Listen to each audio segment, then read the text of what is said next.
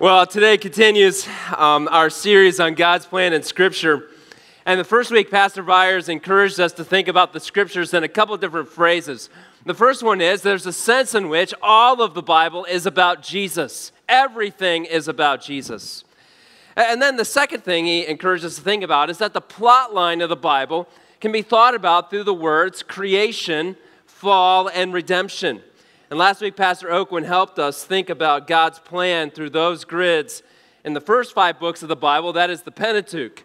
And today, I have the privilege of taking us uh, on a journey through the historical books. So, God's plan in the historical books. And I have to say, when Pastor Viars assigned this to me, I was totally pumped. It's one of my favorite sections in the Old Testament. So, are you ready? Ready? You're live, awake, enthusiastic? Yeah, all right. Well, we'll go with that. So let's start with this definition to make sure we understand what it is we're talking about. The definition of the historical books is the books from Joshua through Esther. Joshua through Esther. That is Joshua, Judges, Ruth, 1st and 2nd Samuel, 1st and 2nd Kings, 1st and 2nd Chronicles, Ezra, Nehemiah, and Esther. 233 pages in the Bible. Now, thankfully, Titus cut a song out so we can start reading in Joshua chapter 1. Uh, that would take us a little long. These books recount for us the history of the nation of Israel from the death of Moses, roughly in 1405 BC, all the way to the return of the exiles and the rebuilding of Jerusalem and the temple in the mid 400s. So we have a thousand years of biblical history here. And just to put this in somewhat of a context, uh, Pastor Aucoin was sharing for, for us the uh, story of the Pentateuch and Abraham, we were taught about Abraham and this promise that God made to him for land, seed, and blessing. And that promise was roughly made in 2165 BC. So now we're fast forwarding 700 plus years. So that promise was carried to Abraham and then to Isaac and then to Jacob, whose 12 sons became the 12 tribes of Israel. Israel moved to Egypt, and it was Moses who wrote the Pentateuch who led them out. Now we come to this place, some 700 years later. You might be thinking, man, a thousand years of history? I bet these books are so boring. I mean, I hate history. That's not true, by the way. But I hope that by the time we're done, you're thinking, man, I can't wait to read those books again. By the time we're done with this sermon, you're thinking, man, here's what I got to do today. I got to call my dad. That's the first thing I got to do. And then after that, I got to open up the Word of God and read through these historical books because they are way cool. In fact, let me just give you a preview. Here's some of the things you'll find you'll find suspense. Things like this. You know, the nation of Israel walks around Jericho like for seven days. I mean, you're thinking, what in the world is going on there? I mean, what are they training? I mean, what is going on that they're walking around for seven days? Well, they're surprised.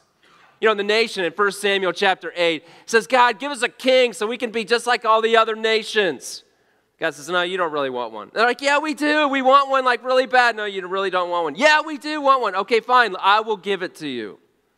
And that reminds us that sometimes we beg God for something that God says we really shouldn't want to have so that we can see just how dissatisfying when we get it, it really is. Oh, there's action. I mean, David's life, all through Samuel and Kings, David's life is full of action. I mean, he's off fighting war here, war here, war here. In fact, David has a category of guys. They're called his mighty men. And if you want to be a mighty man of David, you had to kill like a thousand people with a toothpick. now, I, realize that's a little bit of a, a, a, an exaggeration, but not much. Listen to this. These are the names of the mighty men whom David had. Josheb-Basshebeth, a Tahkemonite. He was chief of the three, and he wielded his spear against 800 whom he killed at one time. I mean, Darth Vader couldn't get that done. I mean, 800 people at one time. I mean, that is like crazy. Well, there's hopeless romance. David kills Goliath, and Saul says, All right, well, here's what I'm going to do I'm going to offer David my daughter. And so that way, um, he, I, he can get killed.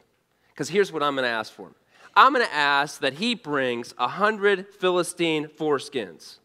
Now, you didn't get those by asking for them. You got those by killing people for them. And so David and his men go after the Philistines, and they don't bring back 100, they bring back 200, more than what Saul had even asked. Man, I can't wait to share this story with the first boy that wants to date Mackenzie.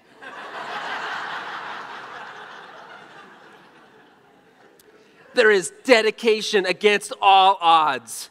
I mean, we have Nehemiah and Ezra who are just on one hand after another after another. There's roadblocks and obstacles, and yet they're saying, No way, with God's help, we're going to get this wall built. With God's help, we're going to rebuild the temple because we want to have a covenant relationship with God reestablished.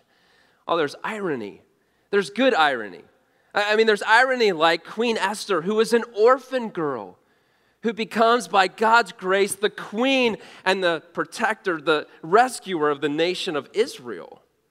Well, that's a bad irony. You know, Solomon, for example, who is described as what? The wisest person. What does he do? He gets 300 wives. What was he thinking? I mean, like, it's hard enough to deal with one, let alone 300. I mean, how do you get that? Man, it's hard to fulfill your role as a husband with one woman. How do you do it with 300? Then there's just flat out craziness. I mean, Gideon, for example. I mean, here they are, they're going to attack the Midianites, and he screams, For God and for Gideon. Well, like, I get the for God part. What's the for Gideon part about? What is going on there? Then you, th- then you read about Samson, and Samson's got serious issues. And then, if that wasn't bad enough, then you read about Jephthah and you think that guy had to have been on crack to do what he did. I mean, by the time you get done, you're just like amazed at all of the craziness that's going on here. I mean, let's be frank, the Harry Potter books aren't this good. So I hope that you walk away from this morning thinking, man, I got to read those. I didn't know all that stuff was in there. I got to go home and read them. I need to study them. There's a tremendous amount of value in them. Well, I've also provided in your program this morning a little insert. Looks like this. And it gives a short paragraph on every book of the historical books from Joshua all the way through Esther, just to provide a little quick glance at the content of them as you're reading to help you. Now, I know I've covered some of the basic content, hopefully, encourage you to, to think about it and to read them later on. I'd like us to talk about some of the themes of the historical books, because there's some really significant ones. And while there are more than three, I'm going to highlight three of them. And then I'm going to try to illustrate those themes through some text in the historical books. The first one is this focusing on the Lord brings blessing, while forgetting the Lord brings ruin.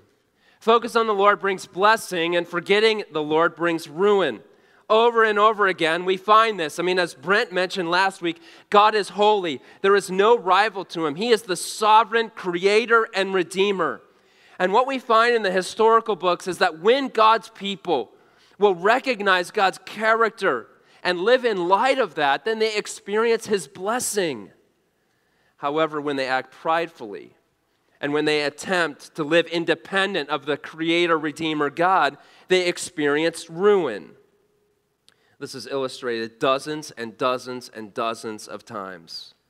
But here are two stories to highlight that. The first one is a, the city of Ai and the importance of holiness in holy war.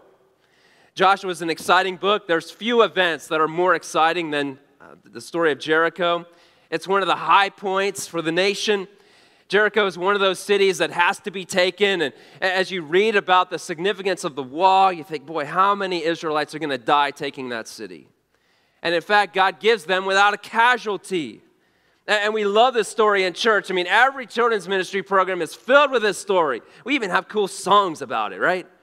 Joshua fought the battle of Jericho, Jericho, Jericho, and the walls. You all know it, don't you? I mean, everybody knows the story of Jericho. What happens next, however, is given 10 times more energy and effort in the Word of God. That is 10 times as much of the Bible talks about the city of Ai than it talks about Jericho. Why is that? Well, because we have a couple of things going on. Here's the first one Joshua sent men from Jericho to Ai, which is near Beth Aven, east of Bethel, and said to them, Go up and spy out the land. So the men went out up and spied out Ai, and they returned to Joshua and said to him, Do not let all the people go up. Only about two or three thousand men need to go to Ai. Do not make all the people toil up there, for they are few.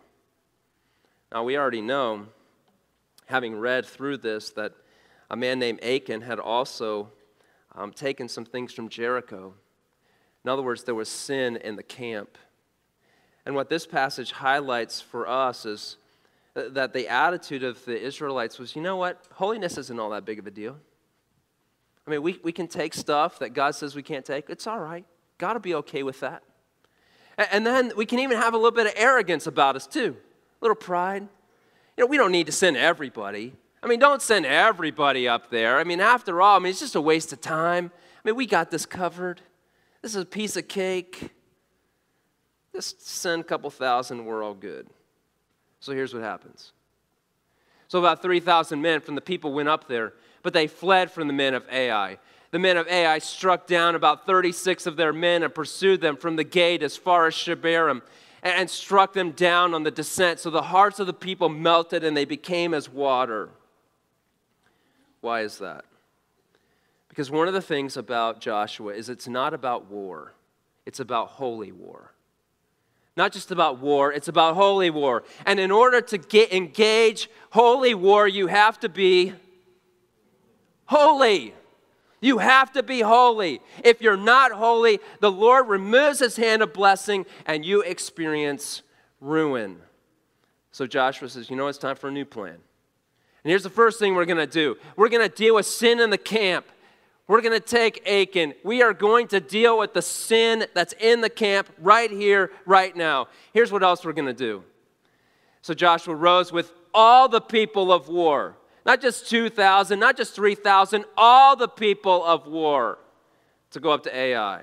And Joshua chose 30,000 men, valiant warriors, and sent them out at night. No more pride, no more arrogance, no more, God, we got this handled. Like, just don't worry about it. Take a nap for all I care. We're good. Then he says this. Then the Lord said to Joshua, Stretch out the javelin that is in your hand toward Ai, for I will give it into your hand. So Joshua stretched out the javelin that was in his hand toward the city. For Joshua did not withdraw his hand from which he stretched out the javelin until he had utterly destroyed all the inhabitants of Ai. What is he expressing? Dependence, is he not? God says, Look, I want you to stretch out that javelin towards the city, and I want you to hold it there. I mean, it just begs the question how long did he have to hold the javelin? Hours? All day? And he was committed. He was absolutely passionate about living for the Lord here. And he says, Fine, if you want me to do this, this is what I'm going to do. And what do they experience? Victory and blessing because Joshua leads the nation to deal with its sin and to deal with its pride.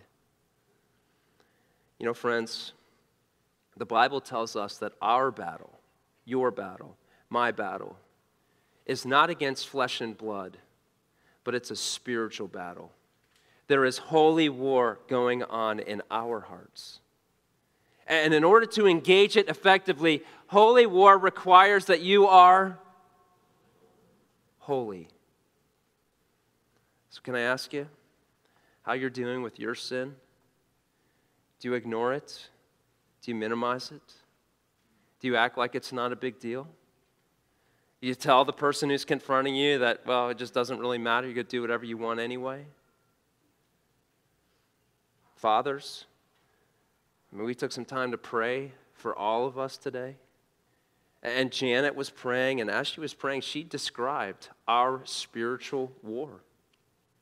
Whether or not we are going to live as godly men who choose to follow after the Lord and acknowledge Him as opposed to do it our own way. How we work is a spiritual battle. How we live out our marriage is a spiritual battle. How we raise our children is a spiritual battle. How we deal with our friends and our neighbors is a spiritual battle. And we can either have a, yeah, I got this covered attitude, or we can be like Joshua, who deals with sin through repentance and who deals with pride by dependence. If the Spirit is bringing conviction on your life, please don't ignore it. Let the historical books teach you a lesson here. A second example of this same category is the judges' generation and the northern kings. At the end of Joshua, the nation occupies a significant portion of the land that was promised to Abraham, Isaac, and Jacob. They have, for the most part, eliminated the inhabitants of the land. However, we're not very far into the book of Judges until we find this text. All that generation also were gathered to their fathers, and there arose another generation after them. Let's read this part together. Who did not know the Lord, nor the work which he had done for Israel. What is up with that? I mean, are you kidding me? They just were the wilderness generation. They've just seen God deliver them in incredible fashions. For the last 25 years, they've been conquering people, conquering people, conquering people as they have engaged in holy war. And now what happens? They rise up a generation who does not know the Lord nor the works which he has done in Israel. I can imagine it now. At the dinner table, there's more discussion about the baseball averages than there is about the Lord. There's more discussion about bedtime, about the games that people played, than there was about the Lord. That when there was suffering in the world, the conversations went to, C'est la vie, such is life, rather than thinking about the Lord and what He might be wanting to do in the midst of that suffering.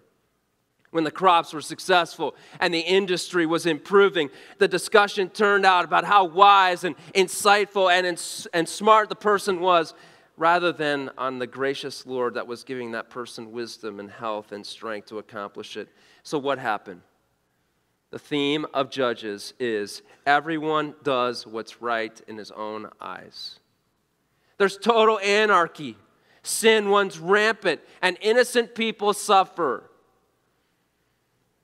The reality is, as soon as you take the Lord out of the equation, there weren't very many motivations for caring about other people. I think we see a measure of this in some Christian homes today. There's not conversations about the Lord, there's not a focus on the Lord. And so what happens? Everybody starts doing what's right in their own eyes, uh, which is why there's no interest in serving, there's no interest in praying, there's no interest in study of the word, there's no interest in reading. There's just interest in finding as many ways to live life pleasurably as possible. Well, after this period of anarchy, the nation actually gets a king around 1050 BC. But that really doesn't solve matters either because 100 years later, in 931 BC, that's an important date, there's a split of the kingdom between the north and the south. And here's what happens when the northern tribes follow a particular person Jeroboam is going to be the king of the north, the 10 tribes on the northern side. And here's what the word of God says about him. In 1 Kings chapter 12, Jeroboam built up Shechem in the Ephraimite hill country and lived there. From there, he went out and built up Penuel. Jeroboam then thought to himself, now the Davidic dynasty could regain the kingdom.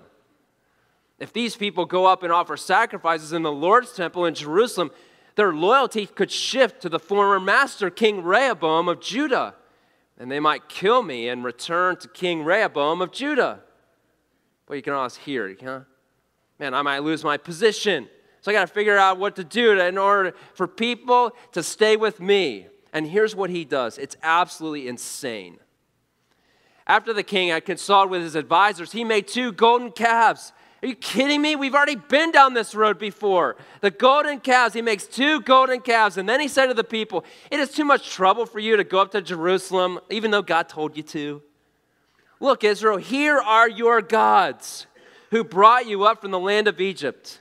Really? Really? They put one in Bethel and the other in Dan, and this caused Israel to sin, and the people went to Bethel and Dan to worship the calves.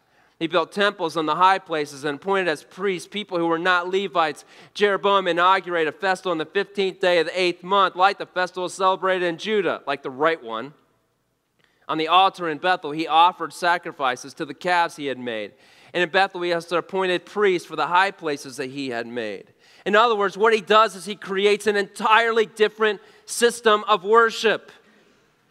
Now, what's the theme we've been thinking about?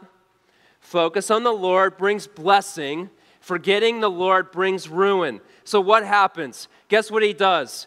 His son follows his way, and his son follows his way, and his son follows his way, and his son follows his way. He sets a dynasty in motion of people, and the nation forgets God. And, fathers, if that's not a screaming call to us, I don't know what would be. A screaming call. Because here's what happens in 722, 200 years later, the nation of Israel is wiped out. They are conquered by the nation of Assyria and sent into exile. You see, one of the lessons that the historical books just scream out for us is the significance of actively and aggressively pursuing a deep and meaningful and obedient relationship with the Lord. We, like the nation of Israel, have tendencies to wander. We have tendencies to create idols of our own making. We have tendencies to want things our own way. And God has provided the historical books to help us recognize that 24 7 needs to be about Jesus.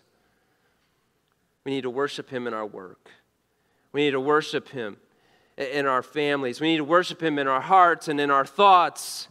Then we can experience the blessing of God, the blessing of walking with the Creator Redeemer.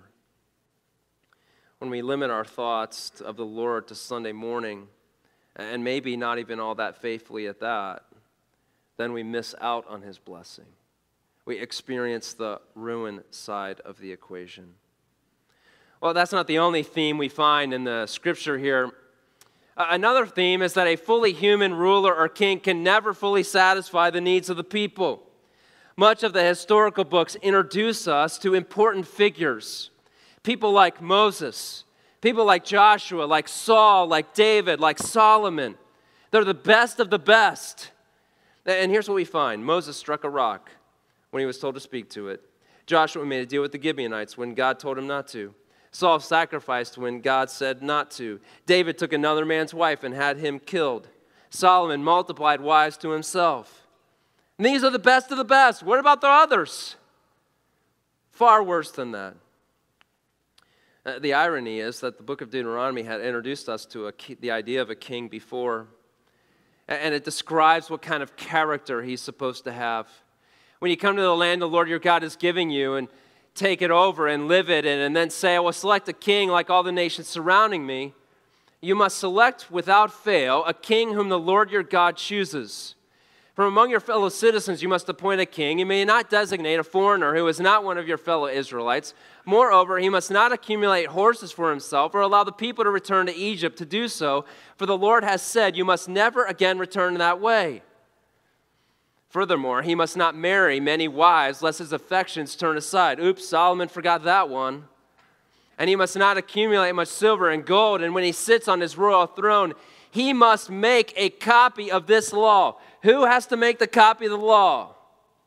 The king does with his own hand. Like he might think, well, I'm way too important. I need to get a servant to do that. Wrong. This was his job. He writes his own copy and to do so on a scroll given to him by the Levitical priests. Why the priest need to check it out? To make sure he copied it right. Then, I don't know any king that did that. And it must be with him constantly. He must read it as long as he lives so that he may learn to revere the Lord his God and observe all the words of this law and these statutes and carry them out. And if there was no one who could do that, no one. Joshua couldn't do it, David couldn't do it, Solomon couldn't do it, none of them could do it perfectly. So that leaves the question who's going to rule? Who's going to be the king that rules forever? Who's going to be the one that we can look to for guidance and for encouragement and for instruction? And the historical books make us long for Jesus. For Jesus. For Jesus. He's the one that we can rely upon. You know, sometimes in our ministry, we serve people who are having a hard time trusting each other, and for good reason. And while we want to rebuild the trust, and we want the shadow uh, of doubt to stop looming, please listen. There is only one who is perfect. There was only one who will never hurt you. There is only one who will love you consistently. There is only one who can satisfy the desires of your heart. Everyone else is a work in progress. So please don't expect your husband or your wife or your son or your daughter to give you what only the Lord Jesus can provide. Love the Lord as the one who can, is the only one who can bring about this kind of satisfaction. Well, a third theme that's found in the historical books. The series is called, after all, God's plan in Scripture. And so, one of the things you see over and over again is God is active in the midst of our chaos to move his plan toward completion. Yeah, without question, the historical books to highlight the struggle with holiness. They highlight the fact that people run away from God rather than to Him. And even the best of the best fail. They also do this that God is still at work. God is moving His plan, He's orchestrating it, He's moving it along just as He designed. God is a Redeemer God. He has a plan for history, and that plan is wonderful. He's not giving up on his creation. He didn't write us off. He didn't choose to ignore us. He didn't destroy us. Instead, he is in the midst of taking our failure and making something beautiful out of it. Again, I could highlight this in a whole host of ways the provision of Joshua himself, the raising up of judges, the provision of a little orphan girl named Esther, or a foreigner like Ruth the provision of two godly exiles named Ezra and Nehemiah who seek to help the nation reestablish the covenant with God. Maybe the most important is the covenant that God makes with David. God made covenants before. He made one to Abraham and said, I'm going to give you land and seed and blessing. I will promise you that. He also makes a, a covenant to Moses through the law, through the nation. And then he makes one to David. And listen to the, the words of the commitment that God makes. So now say this to my servant David This is what the Lord of hosts says I took you from the pasture and from your work as a shepherd to make you leader of my people Israel. I was with you wherever you went, and I defeated all your enemies before you. Now I will make you as famous as the great men of the earth, and I will establish a place for my people Israel and settle from there. They will live there and not be disturbed anymore. Violent men will not oppress them again as they did in the beginning and during the time when I appointed judges to lead my people Israel. Instead, I will give you relief from all of your enemies, and the Lord declares to you that He Himself will build a dynastic house for you. When the time comes for you to die, I will raise up your descendant, one of your own sons, to succeed you. And I will establish His kingdom, and He will build a house for my name, and I will make His dynasty permanent and I will become his father, and he will become my son. When he sins, I will correct him with the rod of men and with wounds inflicted by human beings. But my loyal love will not be removed from him as I removed it from Saul, whom I removed before you. Your house and your kingdom will stand before me permanently. Your dynasty will be, what's that word? Permanent. Permanent. It's a commitment that God makes to David and to his line that he will establish that kingdom forever. Now, just think about that. David had failures, so did his sons. And yet, here's the covenant, the commitment that God makes to David and to his line I'm going to establish your kingdom forever. Forever. And who's going to be the king that rules on David's throne forever? Jesus. Praise God for that, huh? Praise God that when He makes a plan, He doesn't renege, He doesn't change His mind, He doesn't make excuses, He stays true to His word. Jesus is going to rule forever. So I hope you, as you think about this commitment that God makes, you just, that just encourages you to love the Lord all the more. Because you know that God's plan is fully intact. There's no threats to it, there's no concerns with it. He is the creator, redeemer God. See, the historical books aren't just about Israel, they're not just entertaining, they're incredibly practical. The themes rely and impact us on a daily basis. When we choose to act like we don't need God, we experience ruin. When we place too much hope in a human being, we are ultimately disappointed.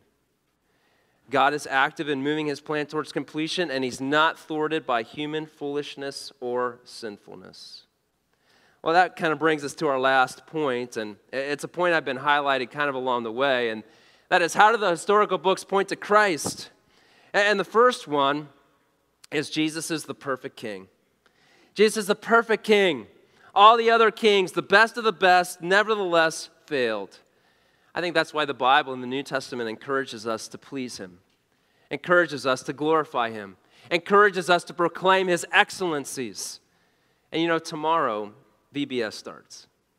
And that means we're going to have about 500 kids run around this place. And I think it'd be pretty exciting to proclaim the excellencies of Jesus to those kids. What do you think? So if you're coming to serve, serve with an excited attitude, like, yes, man, I get to proclaim the excellencies of God right here to these kids because I understand that they need Jesus more than they need anything else in the world. I get a privilege of doing that. Some of you yesterday participated in the race for hope. Some of you ran, some of you walked, some of you served, some of you gave. And I'm happy to report that both of the goals um, were met. Uh, praise God for that. And you know, here's some pieces of that. People did it because they wanted Jesus glorified. Because here's what they thought they thought, you know what, every time there's a young lady who moves to Lafayette, Indiana, to deal with some of the sin and suffering issues that she has been facing, and she learns to process those and to deal with them in a way that brings God honor and glory, Jesus glorified. Jesus is praised. Like, I want to be part of that. The, the seminary, two guys we have been praying about. One is from Brazil, and another is from the Dominican Republic. And we just got word, you know, it's kind of hard bringing international students here for a period of time. It's kind of, we have to deal with the immigration laws in our nation, and those don't always go as we would like. But praise God that He's decided to allow both those guys to be here. And so in the next month, they're going to be moving here, and we're going to have an opportunity to meet them and serve with them. And then there's a few American guys that we could probably get excited about as well. Why is it we would support those things? Because it's going to bring God honor and glory. That's why.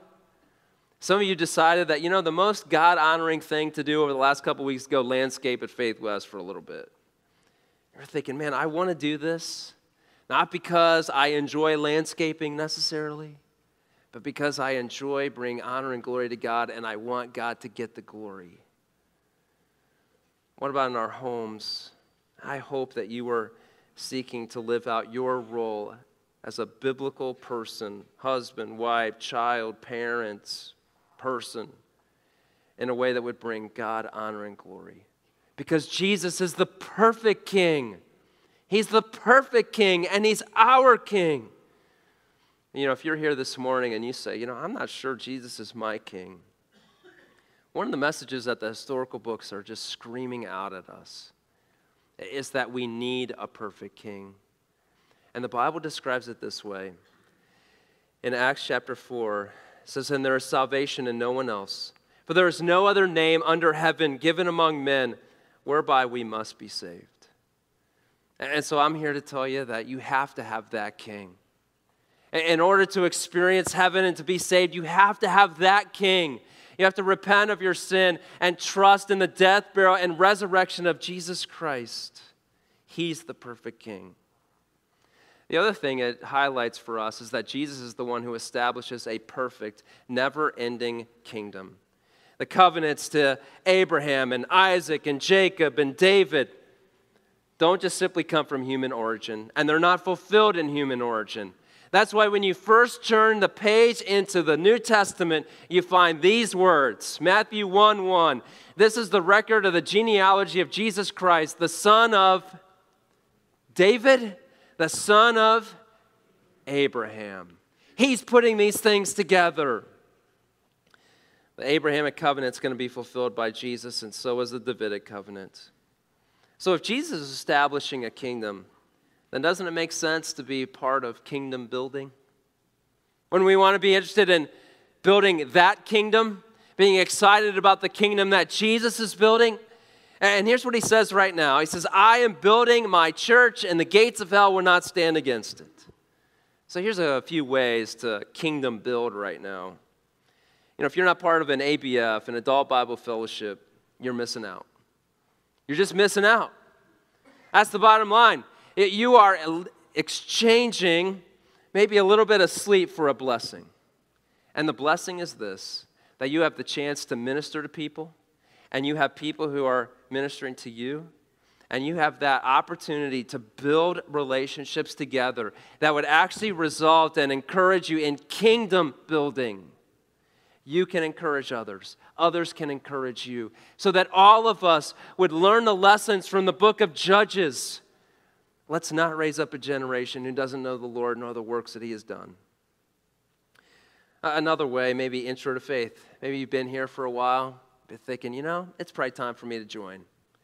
But you just haven't done it yet. I've always been something in the way. I want to encourage you. July 10th, Wednesday night, begins a new Introduction to Faith class. And it's an opportunity to learn a little bit more about the church, get your questions answered, so that you can choose to invest and to plant uh, right here so that you can seek to serve and to build the kingdom which Jesus is building. And then there's going to be opportunities to serve, all sorts of things going on, praying for VBS, helping out with Faith West as it finally finishes up. Well, let me close with just a couple takeaways. The first one is I want to encourage you to skim read Joshua through 2 Kings. You haven't done it for a while. I hope this message encouraged you to read it that there's content there that you need uh, that would be so helpful for your spiritual walk. You know, there's 150 chapters in those sections. Five chapters a day get you done in a month. Then invest in the kingdom that Jesus builds. You know, there's opportunity to do that. Lots of ways to serve, lots of ways to invest. I encourage you to do that and then to rejoice, to be encouraged in your heart in God's plan and in God's power, which enables him to keep his plan, even in the midst of human failure. All right, well, let's stand together for prayer.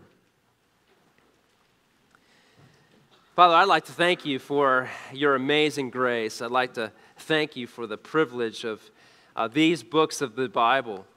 And you've told us that all scripture is profitable.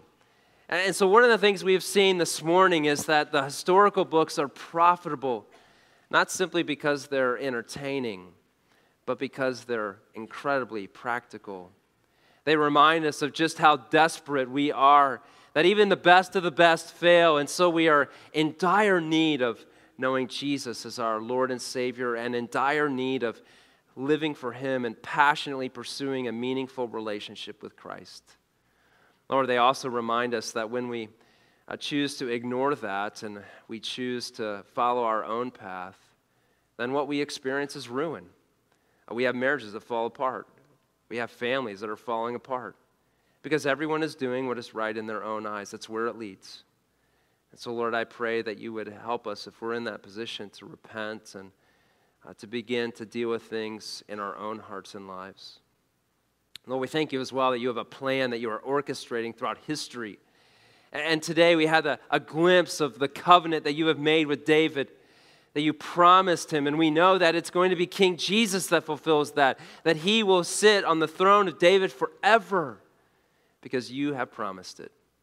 So, Lord, I pray that you would encourage us, that you would challenge us, convict us, and help us to live this week as if Jesus really is alive and significant. And Lord, I pray that you would help us to magnify the name of Jesus during Vacation Bible School this week.